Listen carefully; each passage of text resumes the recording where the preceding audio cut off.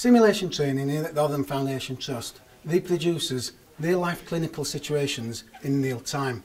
The aim of the simulation scenario is to explore such skills as technical skills, non-technical skills, task management, team leadership and communication.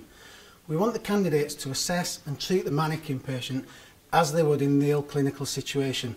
And each scenario is followed by an informal debrief that is take, takes place so that they can reflect on their own and the team's individual performance. Let's go and meet the candidates. Welcome to your A&E simulation session. My name's Jenny and I'm the simulation lead here at Rotherham Hospital. And I'm Karen Shaw and I'm Clinical Skills Facilitator. Good morning. The plan for today's session is that we'll introduce you to the mannequin. We'll then brief you on the scenario and we want you to behave in the same way as you would in your, in your clinical area. And then there will be an opportunity for debrief.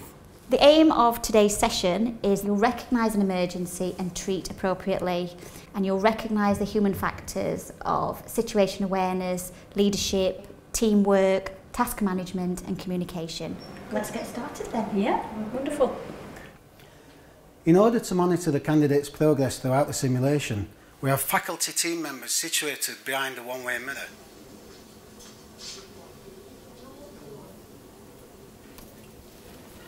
Hi guys, this is Hi. today's faculty team and today's part of fa- uh, the faculty at Rotherham Hospital I'll be actually the mannequin's voice today. There you go. Thank you, Lee. Today's session is an A&E scenario. We've got an experienced F2 and two senior staff nurses with us. The patient is Richard Stevens, 56. He's going to have pulsed VT with the adverse features of syncope and shock. We want the candidates to recognise this and the need for electrical cardioversion, followed by amiodarone. We want them to call the anaesthetic team, and that's when Olivia and I will go into the scenario. I've already briefed the candidates, so they're ready to start once we're prepared.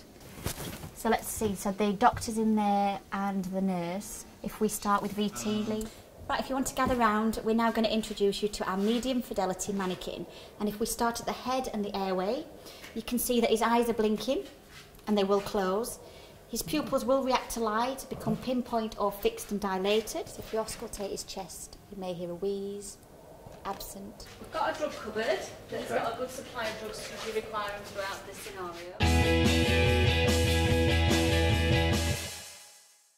Okay, right, well, Justin, I'm Karen. We're just going to do your blood pressure. All right. Okay, right, he's in uh, VT. I think we ought to get uh, doctor. On my way. Guys, have you got the F2 handy, please? Hiya Karen, what's going on? Uh, this is Justin Stevens. He's a 56-year-old. Hello. Justin. Uh, he's, he's in um, VT, as you can see, his Yeah. systolics 80. Uh, he's collapsed this morning and he's been brought in by ambulance. He's been having a couple of days where he felt palpitations and feeling unwell, generally unwell. Okay. Okay, Mr Stevens, I'm Mark. I'm one of the doctors that's going to be looking after you today. Can you tell me what's been going on? I felt really faint this morning and then I, I just collapsed. Okay, Mr Stevens, let me just explain to you. Your heart's going very fast and very irregular, and what we're going to need to do is we're going to need to pass an electric current through your chest to stop to stop this heart irregularity, hopefully. Okay, and I've got these two experts that have come to help me do that. So just give me a second. So I'm going to give, I'll start with 150 Okay. Mr Stevens, you're going to be going very sleepy very shortly. Once the propofol's in, if you want to maintain the airway, make sure we've got the oxygen at 15 litres. Okay. Okay, Mr. Stevens, I'm going to give you the medication now. This will send you off to sleep. Okay, if you want to charge to one, uh, put it to 120, get it into sync. Sync, Sync. Okay, and over to you, Karen. into sync. Everybody stand clear, oxygen away. Everybody clear. Charging. Everybody stand clear. Shot, discharging. Okay, back on. We, Right, that looks like a still got a carotid pulse. carotid pulse and a We've change in change rhythm. Okay, can we keep a close eye on that? Okay, so his rate's about, if you could get an E ECG. ECG, around somewhere here. Um, what I'm going to do, guys, I'm going to talk to coronary care. I'm going to need you obviously down here just to keep control of the airway until Mr Stevens is feeling a bit better. And, okay, so I'm going to Happy disappear for a second till to make a phone call.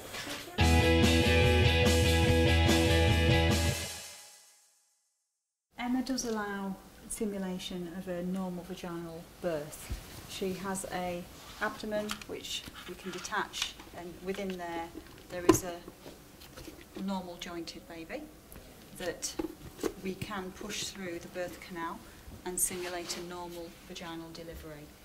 She allows recreation of obstetric emergencies, including eclampsia, postpartum hemorrhage and maternal collapse. keep pushing. Oh, do you want me to push? It's coming, I'm pushing. Well done. Come on, on, Emma. Emma. Nearly there. Well done. Keep, going, keep going, keep Brilliant. going. Well done. Fantastic. Keep going. Well Can you see You'll it, be fine, Jeff? Is it Keep coming? going. Bit more. Can't Oh, see anything Oh, it's really hurting. Oh, it's really hurting. Thank you. I'm going to have to try Oh, and I'm move your pushing, baby's I'm not shoulders inside, so I'm going to have to do a consultant, little Dave. cut. Excellent. Right, we'll be Okay, all right, we've got baby's here. hand out, Emma. That's it.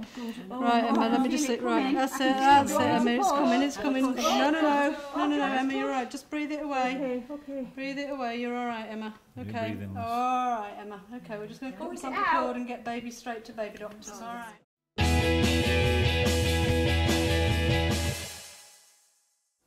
Well, now you've had a valuable insight into the world of simulation here at Rotherham Foundation Trust. Let's go to the final session of the day, which is the debrief. We're now going to reflect on the scenario. How do you think that went?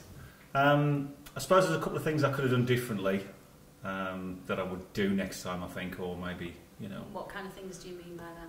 Uh, right at the end, I thought maybe I should have said get a bit more access and get some amiodarone infusion going, which we would do before we transferred something got a bit more stable. But Yeah, well, taking Mark's point as a, a starting area, there is an element of unreality to any kind of simulation. But once you work through that, I think it's very valuable. And again, Mark's point, when you have chance at the end of the day to sit and talk over things, yeah, you could have done differently. And it's not just a case of thinking, yes, I could have done differently, full stop. You can then take that point and feed it back into your clinical practice. That's the end of today's session. Thanks for coming, and we'd like to see you again soon. And we're always looking for faculty members if anybody's interested mm-hmm. in an educational role. You'd very- be very welcome to join us. All right, thank you very much. Thank you.